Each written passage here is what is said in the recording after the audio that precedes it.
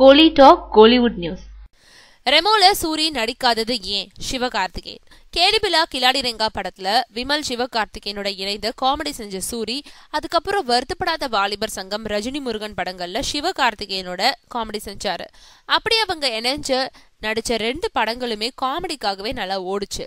அவங்களோட கூட்டணிக்கு மார்க்கெட்ல மவுஸ் இருந்தது. இருந்தாலும் ரஜினி முருகனை தொடர்ந்து இப்போ சிவகார்த்திகேயன் நடிச்சிட்டு வரும் ரெமோ படத்துல சூரி இல்ல. அவருக்கு பதிலா சதீஷ் நடிக்கிறாரு.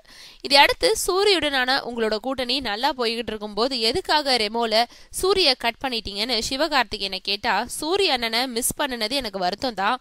ஆனா அவர் பெரிய காமெடியன் அவருக்கு தீனி போடும் அளவுக்கு இந்த ரெமோல போதுமான காமெடி இல்ல. அதனாலதான் அவர் நடிக்கல.